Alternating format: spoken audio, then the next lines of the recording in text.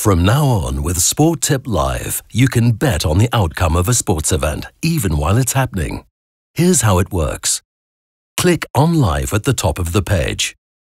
This takes you to the live homepage and gives you an overview of sports events that are already underway and on which you can bet live.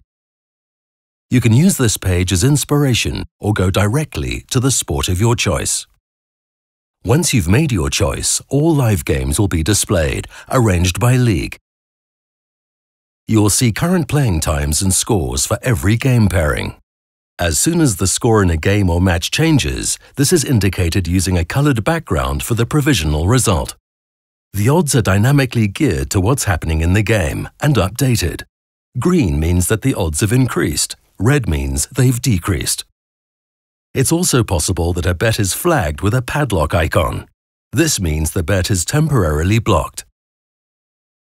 Users can also customize the sports selection page by arranging the three betting columns according to their individual requirements, so as to compare all live games for the sport selected directly with one another. The plus symbol at the end of each line takes you back to the detailed overview for a game.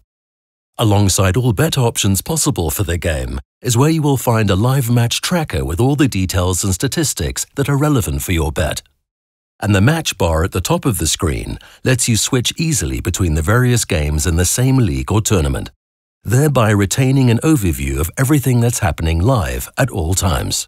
And here's the most important part, how to generate your betting slip. You fill it out simply by clicking on your bets. Please note that dynamic odds adjustment and temporary closures may affect bets that are already on your betting slip.